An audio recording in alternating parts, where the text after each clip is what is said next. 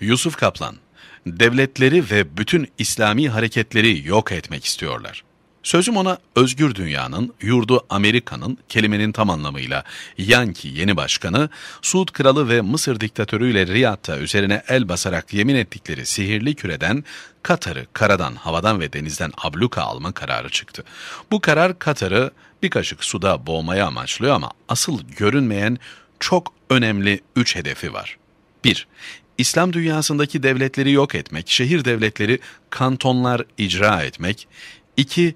İslami hareketlerin birbirleriyle irtibatlarını kesmek. 3. Müslümanları birbirine kırdırmak. Devletleri yok etmek, kantonlar, şehir devletleri icat etmek istiyorlar. Amerika Başkanı Trump tam bir kovboy gibi John Wayne Yankisi'nin hortlamışı sanki. Bir devlet başkanına hiç benzemiyor. Dünyaya bir haydut gibi çeki düzen vermeye devam edeceğini gösterdi Trump. Başkan seçildikten sonra yaptığı ilk yurt dışı ziyaretinde Riyad'da.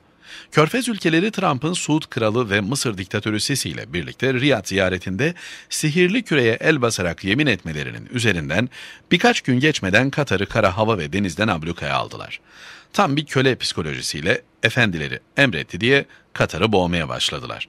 Türkiye Katar'ı yalnız bırakamaz. Hedefte Türkiye'de var asıl. Mesele Katar değil. Batılıların üç hedefi var. 1. Devletleri yok etmek, Biraz açarsak haritaları sil baştan yeniden çizmek, İslam dünyasını lime lime paramparça etmek, deyim yerinde ise İslam dünyasında şehir devletleri küçük kantonlar icat etmek, böylelikle istenildiği gibi dışarıdan diktatörler veya küçük kastlarla yönetmek, karıştırmak, yönlendirmek. 2. İslami hareketlerin, cemaatlerin, oluşumların birbirleriyle irtibatlarını kesmek. 3. Müslümanları birbirine kırdırmak, büyük Sünni-Şii mezhep çatışmasını patlatmak. İslami hareketleri yok etmek istiyorlar. Osmanlı'nın tasfiyesinden sonra İslam tarihi yapan bir aktör olarak tarihten çekildi. İslam'ın varlığını sürdürmesini sağlayacak Müslüman devlet kalmadı yerkürede. Bütün İslam dünyası sömürgeleştirilerek köleleştirildi, kaynakları talan edildi. İslam son 200 yıldan bu yana varlığını İslami hareketlere, cemaatlere, oluşumlara borçludur.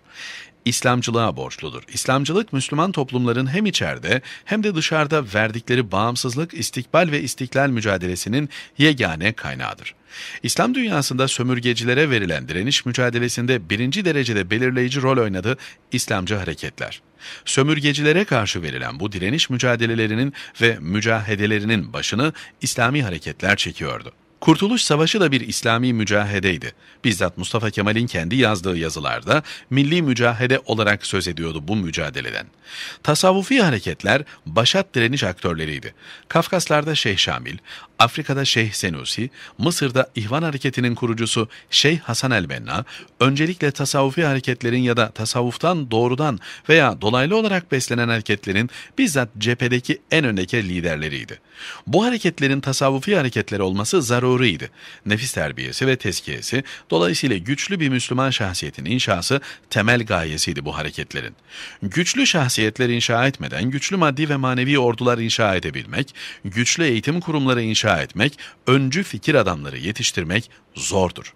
Katar'da hem mevcut devletleri bitirmek, şehir devletleri, kantonlar icat etmek hem de bu seküler devletlerin yarın İslami devletlere dönüşmesinin yegane şartı olan İslami hareketlerin kökünü kazımak istiyorlar.